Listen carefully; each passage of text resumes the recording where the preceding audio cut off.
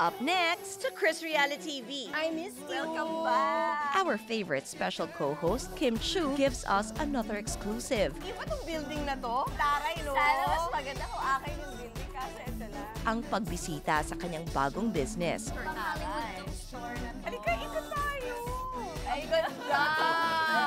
ano ba yan? Ba't ka naman umiiyak? May LQ ba kayo? Ay, wala. Ano ba? Ba't ako kakasal yata? Chris TV, Wednesday, 8